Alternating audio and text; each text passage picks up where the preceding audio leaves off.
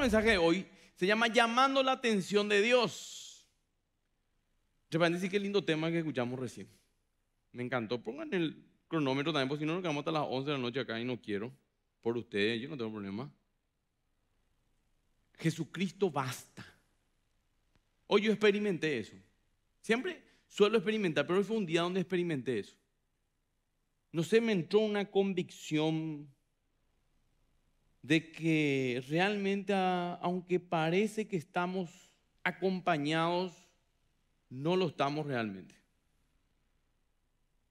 Y ahí te das cuenta de que al fin y al cabo solo Jesús basta.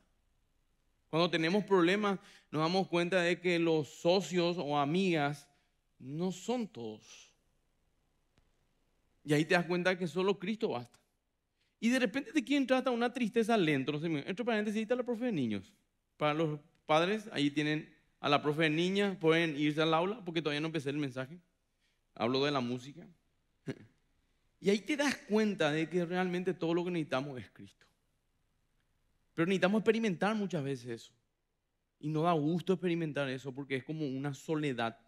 Es como que de alguna manera Dios te arrincona al punto de que te des cuenta de que solo Él basta.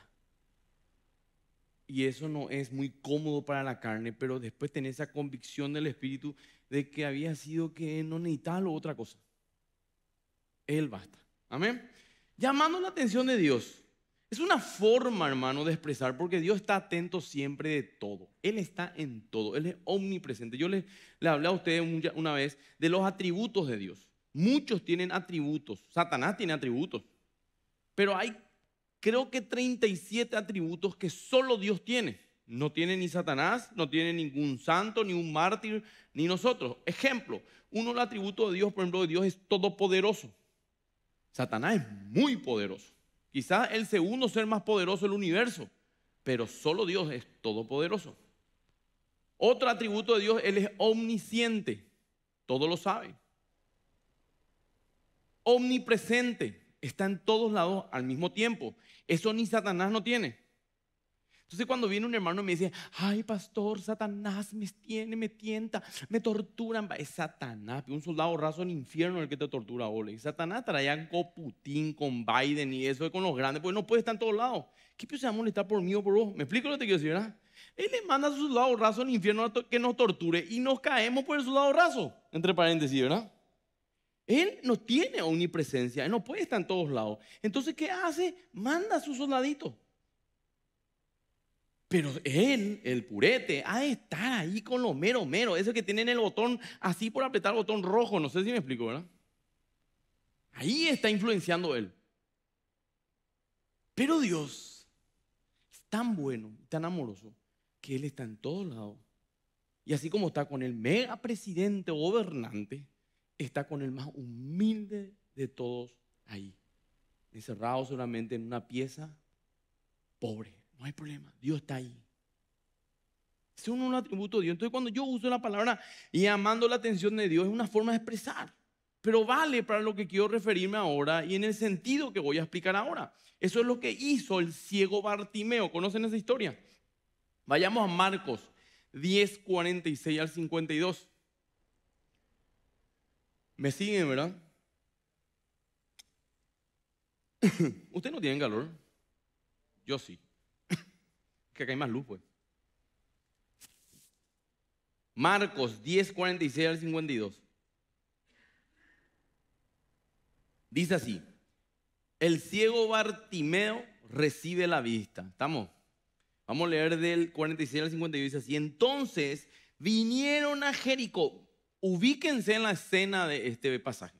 Vinieron a Jericó al salir y al salir de Jericó, él y su discípulo, está hablando de Jesús, y una gran multitud, o sea, él, sus discípulos y una gran multitud, Bartimeo el ciego, hijo de Timeo, estaba sentado junto al camino mendigando. Y oyendo que era Jesús Nazareno, porque él no podía ver, escuchaba, comenzó a dar voces y a decir, Jesús, hijo de David, ten misericordia de mí. Y muchos le reprendían para que se callase. El famoso, cállate, qué pelada. No sé si me explico. ¿Cómo estar gritando así? Pero él clamaba mucho más. Hijo de David, ten misericordia de mí.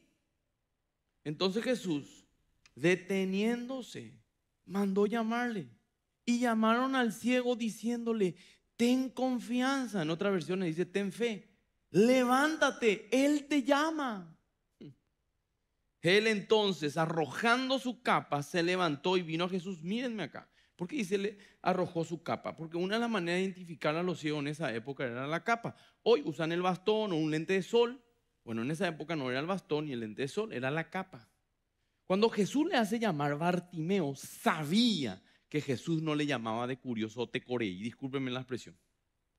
Él sabía que su milagro estaba. Por eso arroja la capa como una señal del paso que dio, diciendo, de esta capa nunca más. No necesito más la capa, son mis últimos metros de ciego. Jesús me llamó. Llamé su atención. Continuamos. Entonces, arrojando la capa, se levantó y vino a Jesús. Respondiendo Jesús le dijo, ¿qué quieres que te haga? Ya, no era porque Jesús ya sabía lo que iba a hacer, Escuchen. Y el ciego le dijo, maestro, que recobre la vista. Y Jesús le dijo, vete, tu fe te ha salvado. Y enseguida recobró la vista y seguía a Jesús en el camino. Esta es una historia apasionante. Una historia que se repite tres veces en los cuatro evangelios. Es una, historia resaltante, decimos en teología. ¿Por qué? Porque hay historias que solamente se ven en un evangelio o en dos. Ninguna historia se ve en las cuatro, solamente nacimiento de Jesús y eso, ¿verdad? Sino que estas tres de cuatro quiere decir que es algo muy importante que el Espíritu Santo nos quiere enseñar. Y acá podemos quitar muchísimos principios. Pero hoy me quiero enfocar en llamar su atención. Jesús pasaba por ahí, dice. La Biblia dice que él ya estaba de salida de Jericó. Pero alguien gritó. Bartimeo lo hizo muy fuerte y varias veces. Aparentemente Jesús ya había terminado lo que vino a hacer, porque estaba de salida. Él se fue, entró, una multitud le seguía. Ustedes pueden leer los capítulos de todos los milagros que él hizo allí en ese lugar. En un momento dado, él, guiado por el Espíritu Santo, habrá sentido la voz de su padre que le dijo, ahora andate afuera, ya cumpliste tu misión aquí en Luque, en San Lorenzo, en Capiatá. Ahora vamos a otro lado. Y él saliendo, porque hay una peculiaridad. No es que Jesús sanaba a todos porque no podía, no, porque había un propósito en cada cosa que él hacía. Ese día estaba marcado el propósito de que Bartimeo vea, pero yo estoy convencido de que había otro propósito mayor que Bartimeo solamente vea, sino que el mundo vea lo que Jesús podía hacer con un alma que clama.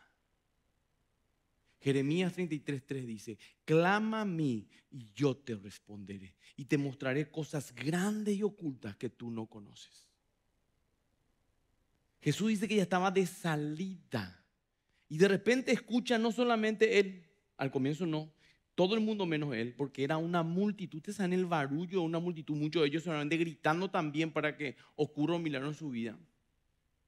Y de repente escucha una voz de los lejos diciéndole, Jesús, hijo de David, ten misericordia de mí. Al costado del camino, tirado, ¿qué estaba haciendo? Recogiendo solamente limosna. Jesús, ten misericordia de mí. cállate, Bartimeo, qué pelada. El maestro, una eminencia, un tipo conocido.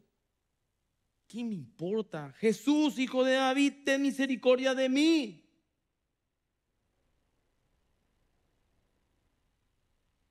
Ay, pastor, oré casi dos días antes de almorzar por un milagro y no hubo caso, pastor. No sé si Dios me escucha. ¿Clamaste por ese milagro? ¿Te arriesgaste, entre comillas, hasta que te juzguen? ¿Llegaste al punto de tanto clamar por algo que hasta la gente te decía que dejes ya de hacerlo?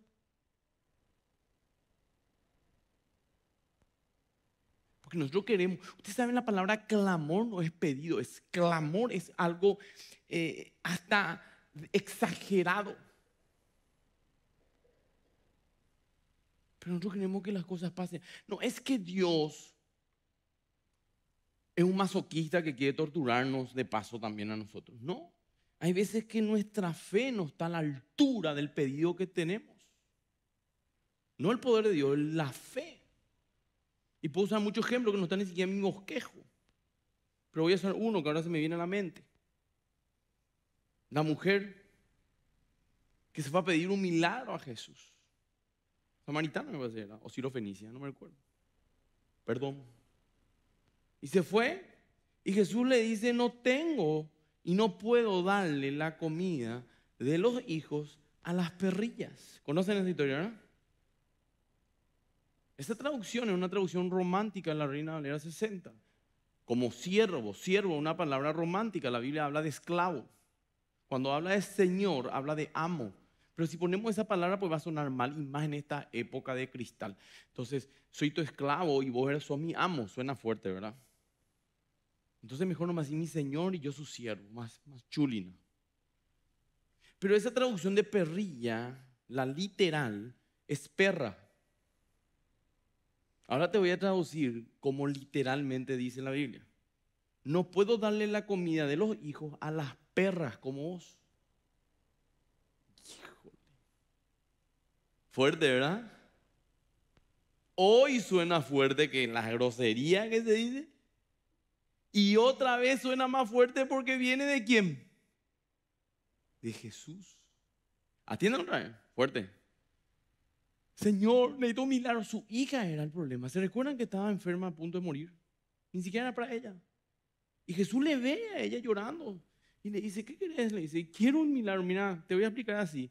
La comida de los hijos no son para las perras, como vos. Qué malo que es Jesús, ¿verdad? Si era Jesús pastor de más que así salían corriendo todos. Después se quejan cuando yo, el pastor Emilio, eso le bajamos con un palo a todo, ¿verdad? Jesús lo que estaba haciendo era desafiar la fe de esa mujer.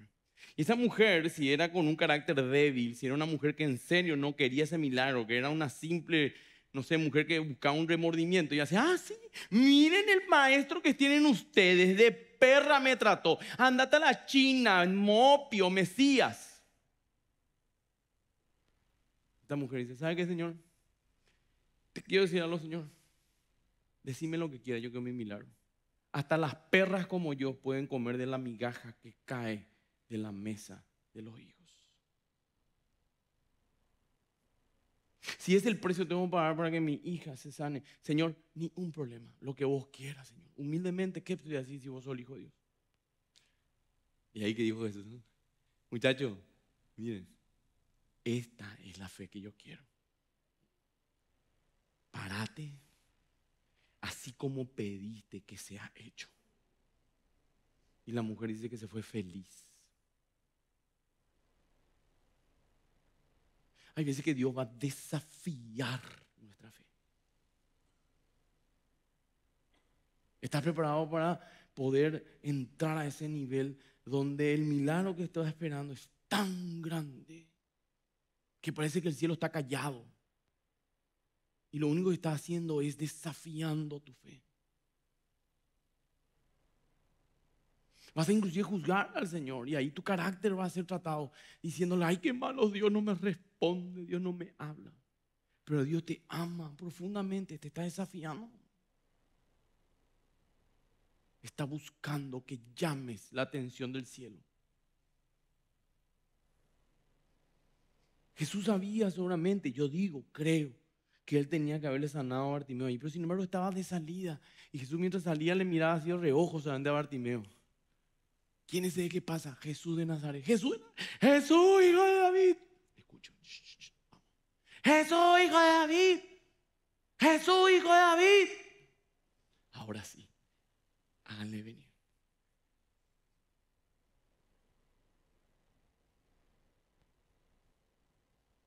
¿Qué será que Dios quiere provocar en tu vida antes de que te dé lo que le estás pidiendo tanto? Dice que tanto fue el milagro que tuvo este hombre y tanto valoró ese milagro que tuvo porque le costó, se quedó afónico y todo, ¿eh? que le siguió, dice. Hay gente que no valora lo que tiene porque no le costó nada. Por eso es que viene de repente y pasa lo que tiene que pasar y se van. No le siguen a Cristo en gratitud. No, se olvidan de Él hasta que tengan otra vez problema. Y a Dios no le importa, Él te va a dar porque quiere, porque te ama. Y si le seguís, le seguís, es tu problema. Si no, pero no hay problema, cero tres. Mire, no le importó nada. Jesús, hijo de David, ten misericordia de mí. Cállate, le decía. Pero él seguía gritando, seguía gritando. Entiéndanle, su única y su última oportunidad estaba pasando por ahí. Su única y su última oportunidad estaba pasando por ahí. No sé si entiendes.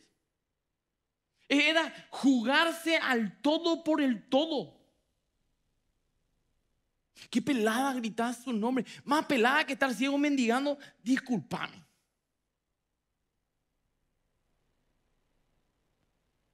¿Estás dispuesto a hacer todo en serio por tu matrimonio? ¿Estás dispuesto a hacer todo por la gente que amas? ¿Estás dispuesto a hacer todo por los propósitos de Dios en tu vida? O hasta un punto nomás donde no tengas que romper tu etiqueta. Si yo le amo a Dios a mi modo, yo para qué me voy a ir a la iglesia.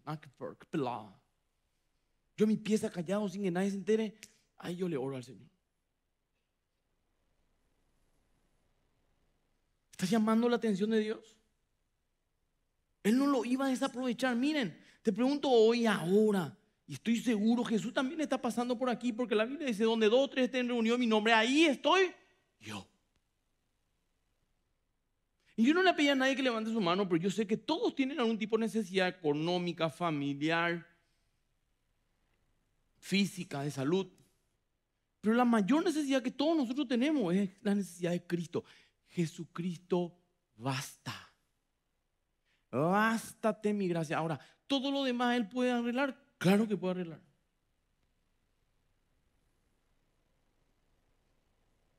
Ahora te pregunto, Jesús está pasando por aquí. Vos tenés tu milagro, vos necesitas de ese milagro, vos necesitas de eso. ¿Vas a dejar que se vaya nomás? Bartimeo logró que Jesús se volviera y preguntaba por él. Y logró su milagro acabó su tormenta y lo hizo su discípulo. Hay que traer de vuelta a casa a Cristo, hermanos. ¿Cómo está tu hogar? Tráelo de vuelta a tu vida. Pero hacerlo en serio y no de una manera religiosa. Cristo está en tu casa. Cristo está contigo. Le traes de vuelta, Él gira y está contigo, te mira y está contigo. En serio te pregunto. Hace unos días, una semana, ando preguntando mucho a todo el mundo, así que nadie se puede tomar como aludido. Hago esta pregunta, si hoy te morí, en serio, te pregunto en serio, pensá, mira a la nada, así mira, así. Si hoy te morí, en serio, ¿te vas a ir al cielo? No, pues yo no creo tanto en el cielo y eso, ese es tu problema, existe.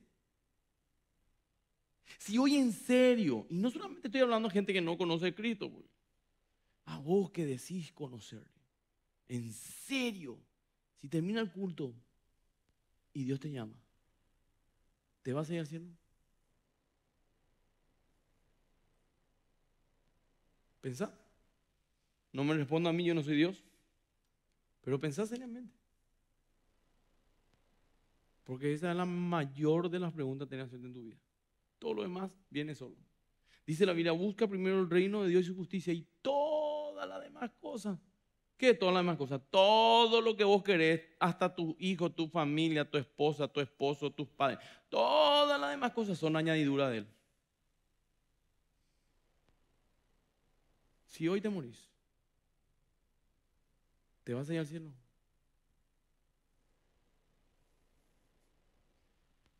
Vamos a otra historia. ¿Para qué vinieron hoy viernes? Le van a extrañar al pastor Érico, ¿eh? No, vamos a alentar el corazón. Un principio quiero enseñarles. Reyes. Vamos a, Reyes. Primera Reyes creo que. 4, 8 al 17.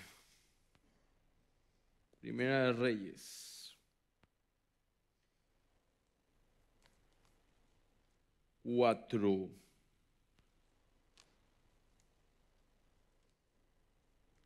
Prefiero que te enoje conmigo por lo que te digo que Sala aquí sin saber si te va o no al cielo. ¿Y como yo sé? Dice que el Espíritu de Dios da, da, da testimonio de que somos hijos de Dios.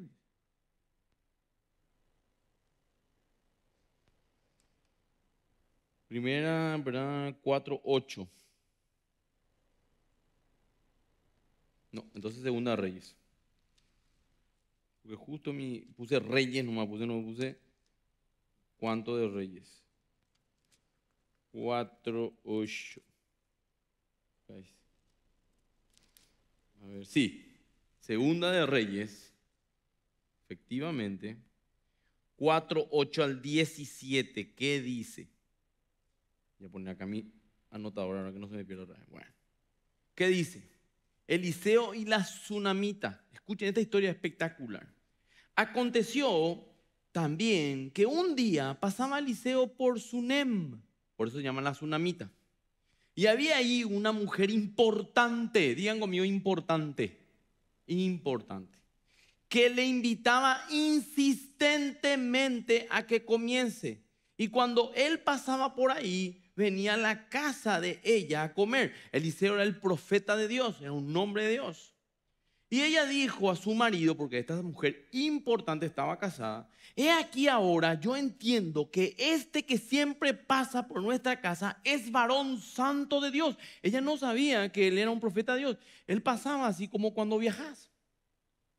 Yo te ruego, le dice al marido, y cuando la mujer pide, el hombre hace. Amén, hermano. Punto. No hay negociación ahí. Bueno, eso es desde los miles de años de atrás hasta hoy. Acá está la forma yo te ruego que hagas un pequeño aposento, o sea, una pieza de paredes y pongamos ahí cama, mesa, silla candelero, para que cuando Él viniera a nosotros se quede en Él. Y aconteció que un día vino Él por ahí y se quedó en aquel aposento y allí durmió. Entonces dijo a Jesse, o Jesse, su criado, él tenía un asistente, digámosle, llama a esa tsunamita y cuando la llamó, vino ella delante de él, del profeta. Dijo él entonces a Jesse, dile, he aquí tú has estado solícita, o sea, atenta por nosotros con todo este esmero. Hizo una pieza con todas las comodidades. ¿Qué quieres que haga yo por ti? O sea, te quiero devolver el favor. ¿Necesitas que hable por ti al rey? O al general del ejército. O sea, este hombre Eliseo no era cualquiera, hermano. Estoy muy agradecido. ¿Quiere que hable con el rey? Yo le asesoro. Soy su sacerdote. O al general de ejército, el segundo amando. A mi cargo están ellos. ¿Algún favor quiere que haga por vos? Escuchen. ¿Necesitas que hable por ti al rey o al general de ejército? Y ella respondió, yo habito en medio de mi pueblo y él le dijo, ¿qué pues haremos por ella? ¿Qué quiso decir con yo habito? Me Señor, yo soy importante también. Yo le conozco al rey y al general ejército. Tranquilo. Yo estoy entre el pueblo nomás, pero ellos me conocen y yo a ellos. Era una mujer pudiente, era una mujer importante. No es que vos levantar una pieza nomás así. O sea, no era cualquiera. La Biblia dice, era una mujer importante, dice. O sea, lo que vos me lo que vos quieras hacer conmigo, yo no necesito, yo tengo esos tratos. Bueno. Y él le dijo, ¿qué pues haremos por ella? Le dice. Y Jesse, su secretario, le respondió, he aquí que ella no tiene hijos y su marido ya es viejo. Dijo entonces, llámala de vuelta. Y él la llamó y ella se paró a la puerta. Y él le dijo, el año que viene por este tiempo abrazarás un hijo. Y ella dijo, no, Señor mío, varón de Dios, no hagas burla de tu sierva. No me tome del pelo, por favor. Esto es muy delicado para mí. Porque todo lo que vos me puedes ofrecer, yo lo puedo adquirir. Pero esto, esto ya no.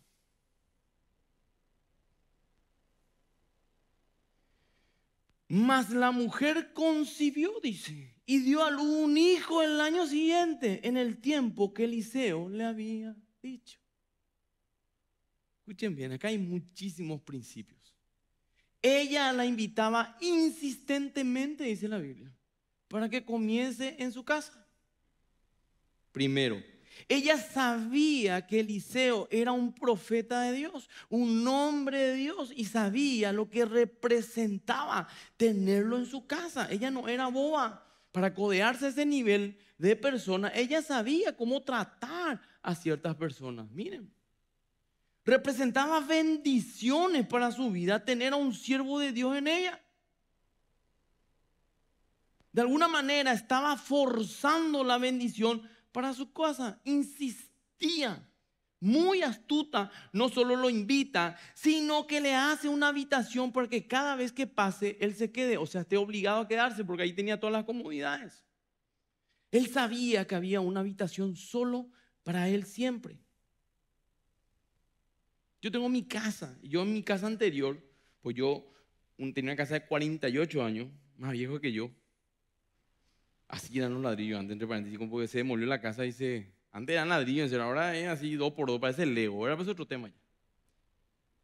Yo tenía una sola pieza, bueno, dos piezas, y una sola pieza, un solo baño, éramos cinco. Y después el baño social que uno no se puede duchar ahí. Y yo le dije a mi esposa, y cuando a mí me invitan a predicar en otros lados, la gente piensa nosotros no vamos a un hotel cinco estrellas y eso. No, no nos reciben los hermanos, nosotros somos misioneros, no rockstar. No sé si me explico. Gloria a Dios si no ponen un lindo hotel, pero si no, en el patio de tu casa yo voy a quedarme dormida ahí. ¿Cuál es el problema si yo sirvo a Dios, verdad? Es más una oportunidad cuando yo viajo, siempre me tienen en una habitación. Alguna vez están decorada de princesa, evidentemente le mudaron a la hija. Y alguna vez en una habitación que es exclusiva. Y yo le dije a Laura, cuando nosotros construyamos nuestra casa, cuando Dios nos regale, la primera habitación que vamos a construir es una habitación para qué? Recibir siervos de Dios afuera. Hoy no podemos. Y mi ex, y no es mi ex suegro, sigue siendo mi suegro porque ya está en el cielo, ¿verdad? También tenía una habitación, mi esposa Laura me contaba, siempre que venía un pastor afuera, mi papá le tenía ahí. Yo dije, no vamos a hacer eso. Y hoy eh, construimos, gracias a Dios, después de muchos años de esfuerzo, más de 10 años de casado, y ahí construimos nuestra casa y tenemos, no, una, dos habitaciones inclusive, para recibirle a siervos de Dios. Hoy a muchos de ellos les recibimos. Entendemos también de eso. Son bendición a nuestra casa. Y no por este versículo, yo no conocía hasta escribir eso. Yo lo que sí conocía el versículo que decía que tenemos que ser hospedadores. Pero yo le pregunto al pastor, ¿querés un hotel o querés quedarte en mi casa? Porque hay veces que de repente hay una, no hermano, en tu casa, no va a venir acá, vas a dar cuenta que no vas a extrañar un hotel, te vamos a tener mejor. Con un bañito privado y todo. Porque yo entiendo que es una bendición tener a los siervos y conmigo hicieron, yo lo hago también con otros. Pero eso no tiene nada que ver ahora con lo que quiero quitar al principio, que es importante que manejemos. Él sabía que había una habitación para él. Nosotros tenemos que hacer una habitación para Cristo. Para cuando Él pase y vuelva y se quede con nosotros. Aprendamos a hacer volver a Dios en serio en nuestras vidas. El profeta duerme esa noche en esa casa. Y al día siguiente le dice a su criado, ¿y cómo podemos agradecerle lo que hace por ellos? ¿Qué quieres? La mujer importante le dice, no necesito de nada. Yo lo hago porque, porque lo tengo que hacer, sos su siervo. El hecho de tenerte aquí lo ya es una bendición. Pero yo sé que cuando vos te vas, cosas lindas ocurren en mi casa. Porque la presencia de Dios te acompaña.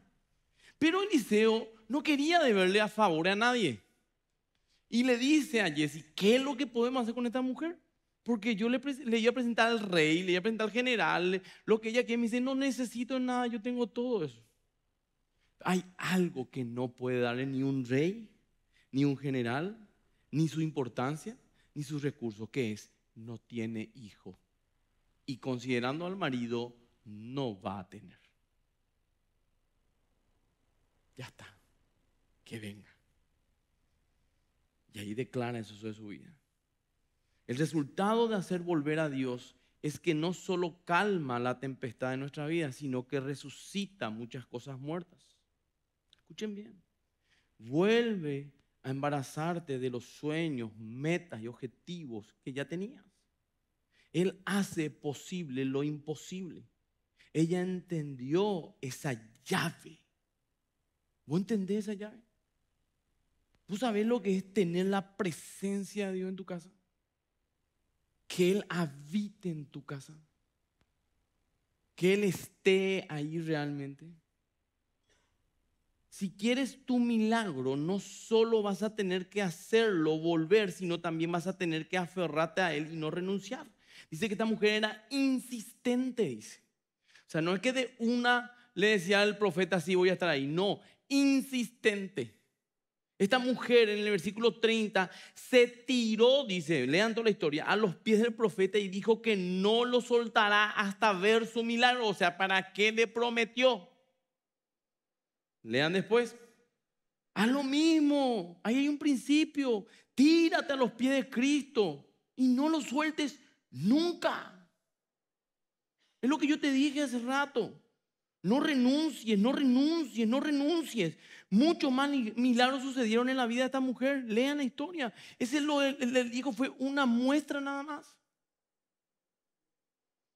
Vean qué pasó de ese hijo. ¿Quién fue ese hijo?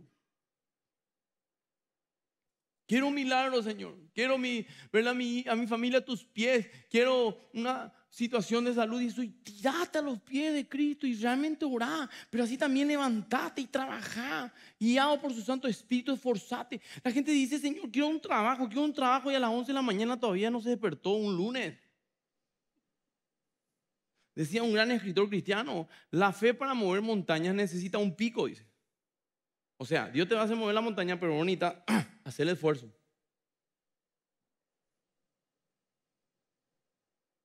Esta mujer no es que esperó nomás el milagro, hizo que el milagro de alguna manera ocurra, construyó una pieza, amobló la pieza.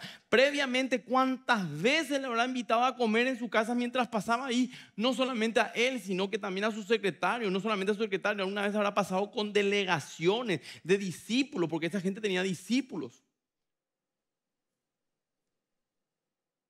Habrá gastado mucho, pero te pregunto, ¿cuánto vale un hijo? Y un, más aún cuando no lo podés tener. Todo lo que vos inviertas en tiempo, en esfuerzo de buscar, no hablo de recursos, hablo de tiempo, buscar tus recursos. Ahí, de rodilla con, con Dios, va a valer mil veces más cuando tengas el milagro en tu mano. Pero parece que no estamos dispuestos a pagar el precio oramos un ratito, telegrama divino, Señor, ayúdame para que mi familia esté bien. Amén. ¿Por qué, Señor, permití tal cosa? Ustedes saben lo que significa oración, a ver si no hay ni un niño acá. Bueno, oración es intimar. ¿Saben qué significa intimar? Los esposos y la esposa. ¿Saben lo que es intimar, verdad? Cuando nosotros oramos, estamos intimando con el Espíritu Santo en el sentido santo, no mal pensado, ¿sí? Es, es, el, es el momento más íntimo que podemos tener. Pero sin embargo nosotros, y voy a usar este ejemplo, queremos intimar de paso. Imagínate un matrimonio que intime de paso. Acá en el auto nomás mientras nosotros trabajamos, mi amor. Eh, un ratito ahí en el semáforo rojo. ¿Qué tal? ¿Va a funcionar ese matrimonio? Espectacular. No, es que buscamos un momento especial. Un lugar solos donde estar. Ambientamos el lugar. No sé si me explico. Ese también tenía mi esposa antes en su casa. Yo me iba así. La primera me fui a marcar entre paréntesis. No, no era marcar todavía. Estábamos estudiando todavía el caso, ¿verdad?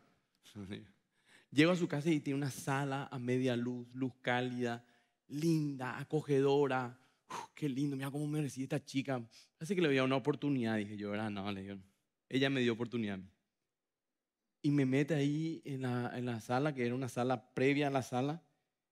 Y yo digo, qué linda la sala. Y todo ambientado, música instrumental de fondo.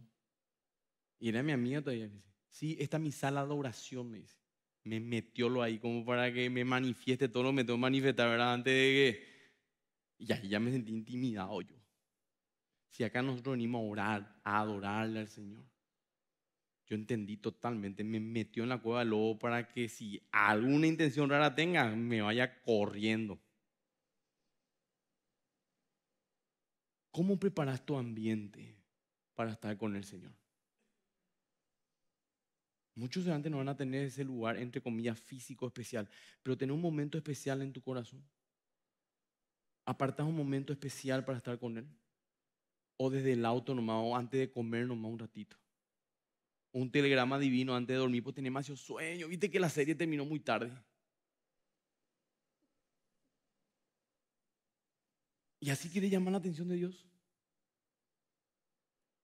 Así quiere tener una reunión, una relación fluida con Él. Así que Él quiere que te descubra sus planes, sus propósitos en tu vida.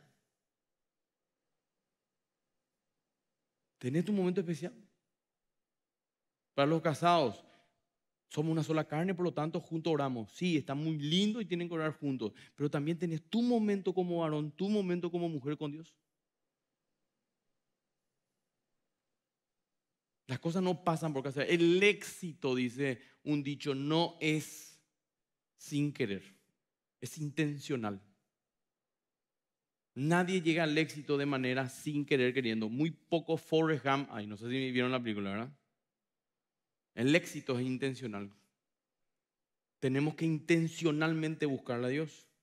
Y acá hay otra historia importante de lo importante que es la presencia de Dios. Primera de Crónicas 15, 1 al 3, vamos a leer al rey David.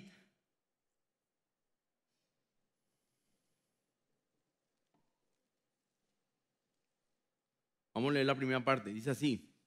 Primera de Crónicas 15, 1 al 3, dice así. Estoy... Estamos a tiempo todavía. David trae el arca a Jerusalén, dice. Hizo David también casas para sí en la ciudad de David y arregló un lugar, escuchen, para el arca de Dios y le levantó una tienda. O sea, ¿qué significa el arca de Dios? Significa la presencia misma de Dios. Escuchen. Entonces dijo David, el arca de Dios no debe ser llevada sino por los levitas porque a ellos les ha elegido Jehová para que lleven el arca de Jehová y les sirvan perpetuamente. Y congregó David a todo Israel en Jerusalén para que pasasen el arca de Jehová a su lugar, el cual él le había preparado. David era intencional. Él le preparó un lugar especial al arca que representaba la presencia misma de Dios. Por eso Dios le bendecía. Le caía bien. Y miren lo que dice 2 Samuel 6, 11 al 12. Voy a leer yo, anoten ustedes, 2 Samuel 6, 11 al 12. Dice así, fue así como el arca del Señor permaneció tres meses en la casa de Obed Edom de Gat. Y el Señor lo bendijo a él y a toda su familia. Y en cuanto le contaron al rey David que por causa del arca del Señor había bendecido a la familia Oded Edom y toda su hacienda, David fue a la casa de Oded Edom y en medio de la gran algarabía trasladó el arca de Dios a la ciudad de David. ¿Qué pasó? David no se sentía preparado para recibir la arca de Dios. Entonces le dije, muchacho, no traiga más, dejen en la casa de Edom. Es una hacienda ahí cerca de la ciudad, pero no aquí, viste que tengo pecadillos ocultos decía David. ¿eh? lean la vida, de David. Voy a tratar de solucionar más o menos esto mientras dejen ahí que cuida de Edom. Y dice que mientras la, el arca de, eh, de la presencia de Dios estaba ahí, todo lo que pasaba en esa hacienda prosperaba. O sea, me imagino la vaca más gorda, los pastizales más altos, qué sé yo. Dice que todo prosperaba. Entonces se fueron y dijeron, David, David, sí. Oded Edom está forrado. Así no me a decirle.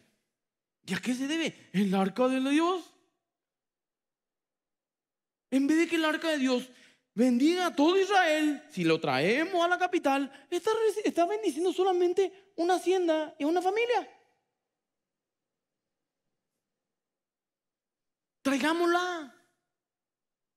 Y ahí David se fue y le trae ya el arca para ser bendecido. ¿Dónde está el arca de Dios en tu vida?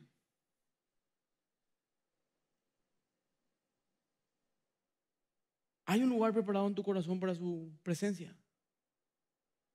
Hay un lugar dentro de tu agitada agenda diaria para su presencia.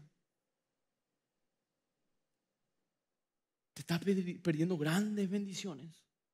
Y no solamente eso, David le dijeron más o menos en otra versión, ¿sabe qué David? No sé cuáles son tus pecadillos, soluciona ahora, porque por culpa tuya no podemos traer el arca aquí. Y mucha familia de todo Israel no puede ser bendecida porque vos no traes el arca acá. ¿Cuánta gente no está siendo bendecida porque no te decidís a buscar su presencia? Yo soy papá, tengo tres hijos, 11, 8 y 5 años. Yo soy sacerdote de mi hogar, estoy casado, mi esposa. Si yo no me pongo las pilas en cualquier área de mi vida, no solamente soy afectado yo, también son afectados ellos. Si hago bien las cosas, ellos son bendecidos. Si hago malas cosas, ellos son perjudicados. O sea, no solamente soy yo. Y vos me decís, bueno, pero yo no soy papá, ¿verdad? No, yo también entiendo que lo que yo haga no solamente afecta en lo que están mi descendencia, sino también mi ascendencia. Mamá sufre conmigo si yo estoy mal. Mi mamá de 76 años sufre si a mí me va mal. Gloria a Dios por su edad y no tiene redes sociales, porque si empieza a leer las barbaridades que dicen de su hijo en las redes sociales por, puro tecoreí, va a sufrir mi vida.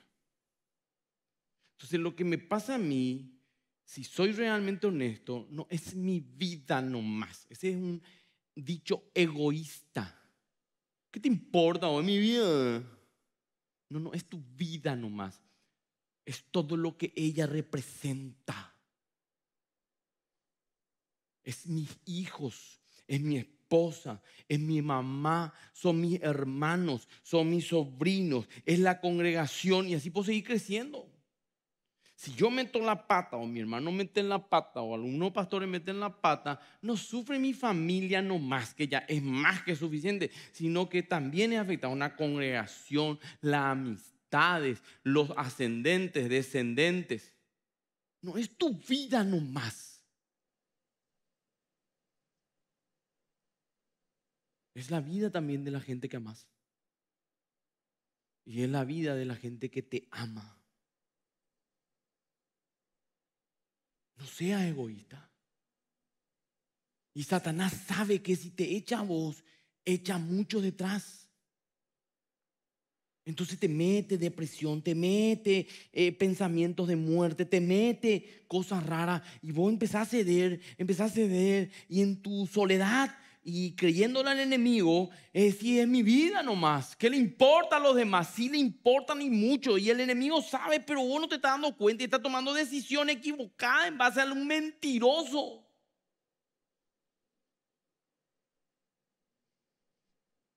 Y tenemos que ser sabios y entender y discernir cuando nos miente. ¿Y cómo podemos hacer eso, pastor? Trae su presencia a tu casa, trae su presencia a tu vida. La presencia de Dios te guarda. No puede ser maldito un lugar donde Dios bendice. Es tu cobertura, es tu protección. Te pueden golpear, los golpes pueden doler, pero no va a derribarte. Y si te caes, te levantás, porque Dios está contigo. Pero la pregunta nuevamente, hermano, ¿está Dios contigo? Mejor dicho, ¿estás vos con Dios? Seriamente te pregunto. Un lugar especial, un momento especial. Vamos a ir cerrando acá para orar. Dios a través de esta mujer tsunamita enseña algo, enseña una clave. Ella hizo una habitación al hombre de Dios, lo hizo volver siempre y le dijo un lugar y le dio un lugar especial. ¿Tiene un lugar especial para Dios? ¿En serio tiene un lugar especial para Dios? Y no solo hablo de un lugar físico, no, sino también un lugar mucho más importante en tu corazón, en tu vida. No importa si tienes o no un lugar físico para Él. Ojalá pudieran tener un lugar físico para Él. Nos preocupamos por la habitación de nuestros hijos, por la sala, por la cocina, por nuestra pieza, eh, hasta por la sala de juegos si hay que tener un poco más de plata. Pero nadie se acuerda de Dios. Pero no tenés ese lugar físico. Lo importante es que tenga en tu corazón siempre y lo busques intensamente. Tienes esa llave para que ese lugar donde la presencia de Dios va a estar puedas entrar ahí. Tienes ese lugar especial para el Espíritu Santo en tu vida. Si haces un lugar, si haces un espacio entre tu tiempo, Él va a regresar y cambiará tu historia. Jesús, hijo de David. Y se estaba yendo. Jesús, hijo de David. Cállate, cállate, Jesús, hijo de David. Se dio la vuelta. Llámenlo. Ya está ahí hace mucho. Ciego de nacimiento. Ustedes no saben lo que es ser ciego, gracias a Dios, yo tampoco. Pero es horrible, hermano. Este hombre sabía su milagro estaba pasando. Me importa un bledo la etiqueta. Vos me decís que me calle porque no sabe lo que estoy viviendo. Pero ese hombre que está ahí, si me escucha, va a entenderme. Yo voy a gritar. Yo voy a gritar. Clama a mí y yo te responderé. Y te mostraré cosas grandes y ocultas que tú no conoces. Jeremías 33.3. Condición para que Dios te muestre todas las cosas. Clama a mí. Punto. Yo no sé quién tiene que hacer volver a Cristo a su vida. Yo no sé quién de aquí, aunque es cristiano o cristiana, tiene que hacer volver la presencia de Dios a su hogar. Pero hoy Dios te trajo para decirte, llévame. Prepárame un lugar. No solo porque te quiero bendecir, sino porque también te quiero guardar. Yo le digo al Señor y el Señor a mí me mostró en el sentido de mi corazón, no me agradezca, Adolfo, por todo lo que te di. Agradeceme por todo lo que no permití en tu vida, que te merecías. La gracia de Dios no se ve tanto por todo lo que te dio, que ya es mucho, sino por todo lo que sí te merecías y no te dio, por amor. Pero no olvidamos y Dios nos quiere cerca. Lo mejor que puede hacer es traer la presencia de Dios a tu vida, hermano. Y la única forma de traer la presencia de Dios a tu vida es orando y buscándole intencionalmente. Y termino con esto. Miren lo que dice. Joel 2.12 al 14. Anoten. Voy a leer esto y terminamos para, el grupo de alabanza que está. Joel 2, 12 al 14 dice, la misericordia de Jehová. Qué lindo, ¿verdad?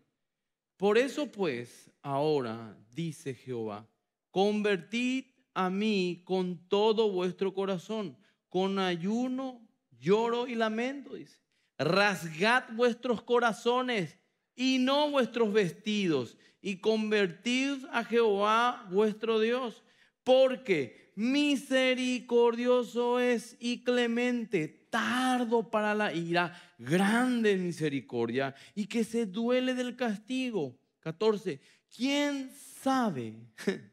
¿Quién sabe si volverá y se arrepentirá y dejará bendición tras él? Esto es ofrenda y libación para Jehová vuestro Dios. Y volverá y dejará bendición tras él, dice. No sé si entienden. Si hace volver la presencia de Dios, dice, ¿quién sabe? Si no solamente su presencia, que ya es más que suficiente, aparte traiga bendición ahí. Estás a un clamor de que Dios responda tus oraciones. No a un telegrama, a un clamor. ¿Qué haces perdiendo el tiempo? ¿Quién sabe, Joel, si volverá y dejará bendiciones ahí? ¿Por qué no nos arriesgamos? a que su presencia venga. arriesgar una forma de expresar. Pastor, ya está, ¿qué puedo hacer hoy? Aquí vamos a orar un rato, pero la oración que vamos a hacer aquí no es la oración que va a llevar la presencia de Dios a tu casa. La oración que vas a hacer solo en lo privado, esa es la que va a traer la presencia de Dios a tu casa. Acá todos somos santos. Hasta acá, hasta el que no cree, cree por cortesía. No sé si me explico. Pero ahí, las puertas cerradas, la habitación solo, ahí sos realmente quien sos. ¿Y saben qué? Por eso la Biblia dice, muy lindo lo que haces, pero yo no miro lo que mira el hombre, yo miro el corazón. Ahí. Por eso rasga tu corazón, no tu vestidura. La vestidura es la carne, la vestidura es lo material. Aquí hacemos muchas cosas, pero tu corazón es el privado, lo más adentro de todo. Ahí yo quiero que te rasgues. ¿Cómo está tu corazón? ¿Cómo está tu corazón? Tu cara denota muchas veces un, entre comillas, un corazón aparentemente eh, tocado por el mensaje, pero Dios no mira tu cara. Dios mira tu corazón. ¿Cómo está tu corazón? Y a Dios no le engañamos. Y vamos a decir, Señor, y si mi corazón no está, digamos, todavía ahí, rendido a ti, pedile, Señor, ayúdame. Mira que tengo cosas que pedirte, Señor. Mira que tengo cosas que arrepentirme. Mira que tengo cosas cual perdiste perdón. Fallé. Pero sin embargo no siento. Ayúdame, Señor.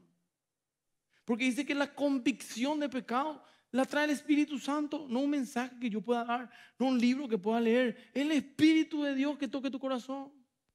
Muchos van a sentir hoy aquí eso, otros seguramente no, pero hoy te estoy avisando, Dios está un clamor tuyo. Y Dios quiere traer su presencia a tu casa. Quiero que traiga tu presencia a tu vida. ¿Qué vas a hacer? Ahora quiero orar con usted. Vamos a ponernos de pie un ratito. Ahí donde estás. ¿Y cómo sabrás que la presencia de Dios vino a mi vida? Porque vas a empezar a tener hambre y sed de Él.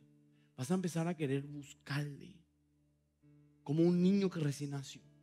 ¿Va a ser todos los días, pastor? Ojalá, no siempre. Algunas veces tiene que ser intencional. ¿Se recuerdan a la mujer? Intencional.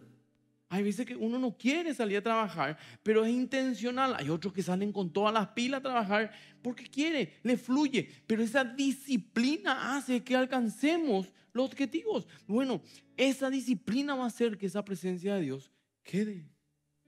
Hay veces que voy a querer tener leña al fuego para que esté avivado. Hay veces que no voy a tener ganas, pero lo voy a hacer porque yo tengo un objetivo, que la presencia de Dios habite en mi casa, habite en mi vida. Amén, hermanos. Creo que ahora agachen todos sus rostros, cierren sus ojos y busquen la presencia de Dios. Vamos a orar un ratito, sí. Vamos a orar un ratito nada más y después vamos a despedirnos. Yo creo que ores ahí quiero que oren ahí un ratito. Así como ahora estamos creando un ambiente, hay una música de fondo. Así como una noche romántica con quien más vos preparas todo el ambiente. ¿Cuánto más con el amor de tu vida? La Biblia dice, amarás a Dios sobre todas las cosas. Prepara ese ambiente. Prepara tu corazón. Y decirle al Señor, ayúdame, Señor. Quiero, Padre Santo, que tu presencia me acompañe. Yo te pido por mí, por Adolfo, Señor. Yo te pido por mí, Señor. Cuanto más yo que digo ser tu siervo, Señor. Tengo que vivir todos los días con un corazón contrito. Perdóname, Señor, por, por el activismo muchas veces no buscarte, Señor. Por ayudarle a tantos a buscar tu presencia, pero no hacerlo eso muchas veces en mi casa con mi familia porque llegó cansado, porque estuve todo el día aquí para allá Perdóname y gracias. Gracias Señor porque tú me amas tanto que a pesar de eso me buscas. Me insistes, me llamas. Quieres estar con nosotros, Señor. Pedile a Dios allí, ayúdame, Señor. Te descuidé, Señor. Pedile perdón, te descuidé, Señor. siendo que tú siempre me cuidaste, yo te descuidé. Ayúdame, Señor, a cuidarte, a cuidar lo nuestro. Necesito de ti, Señor. Vamos a orar un ratito. No te apresures, estamos a tiempo. Un minuto más, ¿sí? Órala y yo me voy a callar. Después voy a orar para despedirnos.